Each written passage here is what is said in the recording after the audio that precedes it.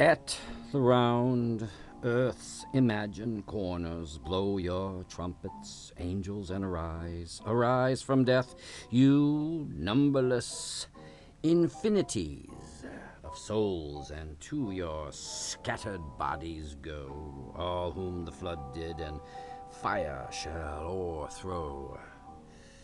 All whom war, death, age, ague, tyrannies, despair, law, chance, hath slain, and you whose eyes shall behold God, and never taste death's woe, but let them sleep, Lord, and me mourn a space. For if all above these my sins abound, 'tis late to ask abundance of thy grace when we are there here on this lowly ground. Teach me how to repent, for that's as good as if thou hadst sealed my pardon with thy blood.